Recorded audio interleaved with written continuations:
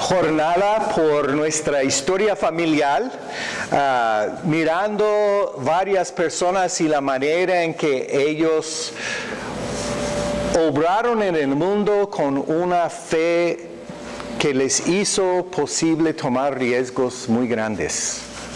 Comenzamos con Abraham y Sara ahí y su riesgo de tomar y emprender, un viaje a un lugar desconocido, un lugar que esperaban que Dios les iba a mostrar. Miramos las tres abuelitas atrevidas de Jesús, Tamar, Rahab y Ruth. Y hoy vamos a tomar la historia unos tres generaciones después. Vos, el esposo de Ruth, tuvo hijo con ella que se llamaba Obed. Obed tuvo hijo que se llamaba Isaí. E Isaí tuvo ocho hijos. El último que se llama David. Y allí tomamos la historia de nuevo. El personaje de Samuel es un personaje muy interesante en la escritura. Fue considerado un profeta y juez para el pueblo de Israel y, juega un papel muy, muy interesante en la historia del pueblo. Samuel mismo era hijo, primer hijo, nacido a la, a la mujer Hannah, que era una mujer que no pudo tener hijos, es que luchaba para tener hijos, como Sarai, eh, la esposa de Abraham, que no había tenido ningún hijo. Y ella fue a, a pedir a Dios una intervención para permitirla tener un hijo, porque las otras mujeres de la familia estaban burlando de él y despreciándola porque no había tenido un hijo. Y dice que el Señor escuchó su petición y ella logra embarazarse, tiene un hijo Samuel que ella dedica a Dios porque era su promesa, Señor, si tú me concedes la gracia de tener un hijo, yo lo voy a entregar a ti como un siervo permanente. Entonces lleva Samuel al, al lugar en Shiloh donde estaba el, la carpa de encuentro, el lugar de encuentro con el Señor, la arca del pacto, donde servía Elí, el sacerdote, en aquel lugar. Y Hannah presenta a su hijo Samuel a ellos. Y dice, mi promesa con el Señor era entregar mi hijo al servicio del Señor y aquí está. Entonces Samuel como un niño comienza a aprender el oficio de ser un sacerdote en el lugar donde ah, el pueblo encontraba a Dios y se sacrificaba a Dios. Pero un día, una noche mejor dicho, Samuel está durmiendo y escucha su nombre, Samuel, Samuel. Y se levanta y despierta a Elí porque pensó que él lo había llamado. Y Elí dice, no soy yo, no te llamé. Entonces se acostaron again y otra vez, Samuel, Samuel. Y Samuel va y busca otra vez con su amo, Elí, y dice, no, no soy yo, capaz que es Dios que te habla. Entonces, cuando oyes la voz, pregunta, sí Señor, aquí estoy. Y Samuel lo hace y recibe una profecía, uff, bien dura, bien difícil. La profecía básicamente dice que Elí y sus hijos iban a ser destruidos porque sus hijos no hacían bien en el templo o en el, en, el, lugar sagrado. Es que aprovechaban de la gente, e hicieron mal. Entonces, cuando se levanta en la mañana, Elí pregunta a Samuel, pues el Señor te dio algún mensaje? Y Samuel tiene temor de decirlo porque es una, una ¿cómo se llama? Una ah, premonición o una denuncia de, de Elí y su familia prognostica que, que, va a haber un desastre, que va a ser destruida su familia. Pero Elí es muy interesante como su maestro, ¿no? Dice, no importa lo que el Señor te dijo, aunque sea mala noticia para mí, dame todo, quiero oír todo lo que escuchaste. Y lo cuenta. Y Elí entonces acepta que el futuro de él como siervo ha de ser limitado. Y resulta que en la próxima guerra sus hijos están destruidos. Cuando él recibe la noticia, cae para atrás de su silla y se golpea la cabeza y muere Elías o Elí. Entonces Samuel se queda encargado del lugar. Este niño, tan deseado, tan esperado, ahora es el sacerdote, profeta, juez para el pueblo en el lugar de encuentro. Y Samuel sirve al pueblo en una forma muy adecuada por muchos años. Pero llega un momento en que el pueblo de Israel está luchando continuamente con los filistinos y no están ganando, no están avanzando. Y el pueblo mira en su derredor y dice, nosotros, lo que nosotros no tenemos es que no tenemos un rey. Pues en los ojos de Dios, Dios era su rey. Pero ellos quisieron un rey humano, un rey visible, un rey que pudieron ellos identificar. Y Samuel juega un papel muy, muy interesante en la historia de Israel. Es el último juez que crea la transición del tiempo de gobernación por los jueces a tiempo de gobernación por un rey. Y Dios obra a través de Samuel para escoger el primer rey de Israel, pero lo hace con muchos avisos para el pueblo. Fíjense bien, dice. Fíjense bien, si quieren un rey, saben, sepan que el rey te va a imponer impuestos para construir sus palacios. El rey te va a imponer el servicio militar en sus hijos para que vaya en guerra a conquistar. El rey va a hacer estas cosas que no les van a gustar, pero si insisten en tener un rey, yo les doy un rey. Y unge a Saúl, el primer rey de Israel. Pero Saúl no es el mejor rey. pronto comienza a cometer errores muy graves, tomar decisiones sin pedir la sabiduría del Señor y llega el momento en que Samuel reconoce que Saúl no va a ser el rey mejor. Y un día recibe en su momento de escuchar y buscar al Señor una palabra. Vete a Belén, a la casa de Isaí, porque yo ya no estoy con Saúl, sino quiero que vayas a ungir uno que va a seguir en su posición. Samuel escucha la palabra, pero tiene muy presente el peligro. Saúl está volviéndose un poco loco un poco agarrador, un poco caprichoso y lleno de su deseo de poder. Y Samuel sabe que si él va a ungir otro rey, y si Saúl se da cuenta, es la muerte. Va a ser asesinado como traidor del pueblo. Y el Señor le dice, pon tu fe encima de tu miedo, porque vámonos. Uno de mis amigos, Scott Dannemiller, ha escrito un canto titulado ¿Qué harías tú si no tuvieras miedo? ¿Qué harías tú si no tuvieras miedo? Y el refrán en el canto dice, el valor sencillamente es poner su fe encima de tu miedo.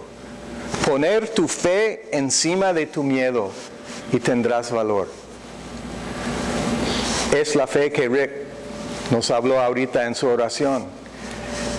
El miedo de que su cuerpo está comiéndose o no sé qué, un dolor inmenso y tiene que poner su fe encima del dolor para permitir que el Señor obre a través de él y adentro de él.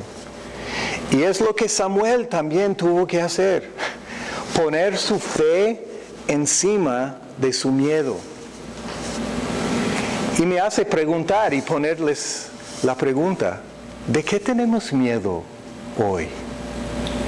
¿De qué tienes tú miedo hoy? ¿Tienes miedo de algún líder que vuelve loco?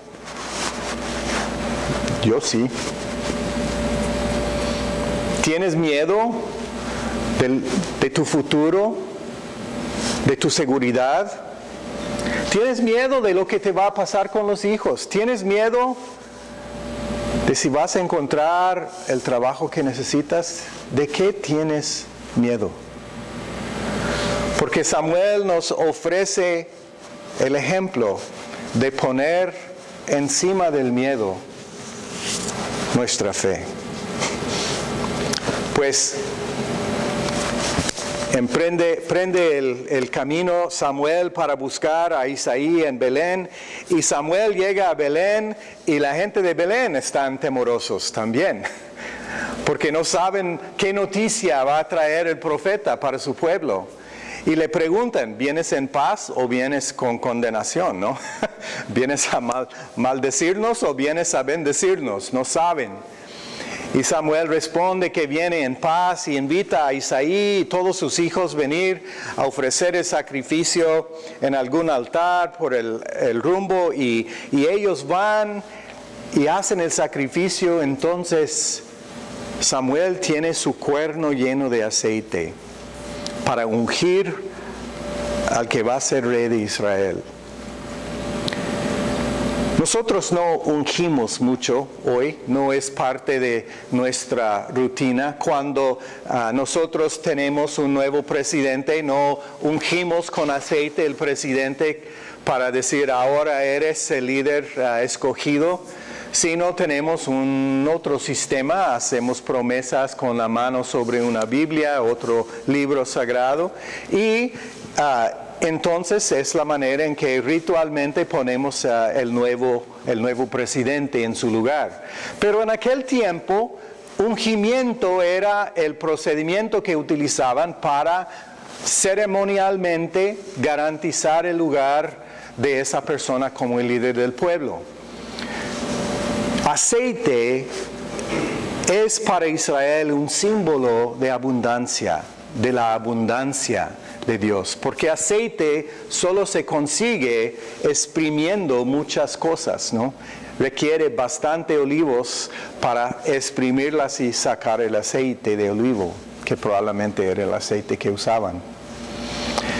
Y el aceite significa esa abundancia que Dios ha dado una buena cosecha, tanto que podemos nosotros hacer aceite de ello. Y viene y pasan los hijos de Isaí uno por uno. Y Samuel comienza mirando al primero, altote, fuerte, un, un tipo, ¿verdad? Un tipo que todo el mundo seguiría. Y está en su mente pensando, ah, seguramente es aquel. Y cuando viene, no se explica cómo Samuel lo discerna, pero él recibe de Dios una, un mensaje. Samuel, no vayas fijando en lo que los otros usan para fijarse. Los criterios que tengo para ti son diferentes. Tienes que mirar no al exterior de la persona, sino su interior. Mira al corazón, porque es desde el corazón que yo escojo el próximo rey. Y pasan uno, no, dos, no, tres, cuatro, cinco, seis, siete. Y Samuel no siente nada. Ninguno es el correcto. Entonces toma el segundo riesgo. Pregunta a Isaí, ¿tienes otros hijos? Seguro que tienes uno, porque estos no son. Isaí dice, ah, pues el bebito. El bebito que anda con las ovejas ahorita. Tavisillo. Llámalo pues. Quiero verlo y no puedo seguir hasta que vemos todos sus hijos. Corren a buscar a David y traen a David y David viene. En un instante Samuel reconoce que este es el que el Señor ha escogido. El más pequeño, el bebecito de la familia, el que vale más para la familia como siervo que cuida las ovejas. Y Samuel mira el corazón de David y dice, este, este es uno con el cual yo puedo trabajar. Úngelo y derrama sobre David el cuerno de aceite.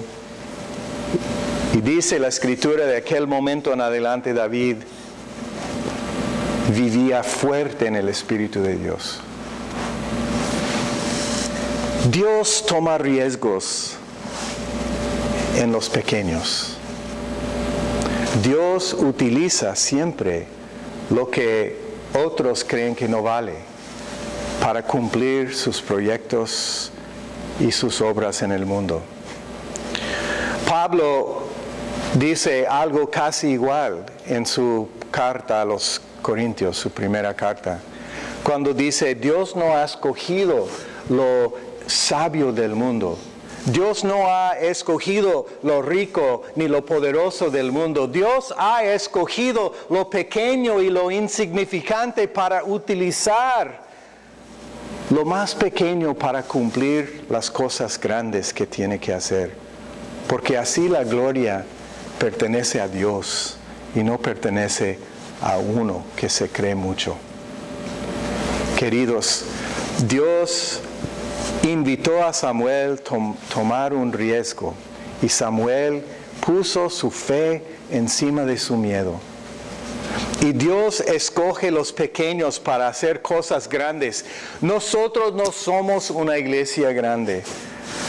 Shirley González, nuestro concejal, vino ayer para la celebración con la comunidad. Llegó tarde, pero tomó un momento para mirar el área y vino al santuario y me dijo, es es muy bonita, pero es muy pequeña. y dije, sí, no somos algo muy grande, pero tenemos un corazón enorme. Y así obramos en nuestra comunidad, deseando ser no lo más grande, sino lo más corazón que se puede. Ofrecemos entonces a Dios lo pequeño que somos, la fe que tenemos, para superar nuestros miedos y cumplir su obra aquí. Oremos.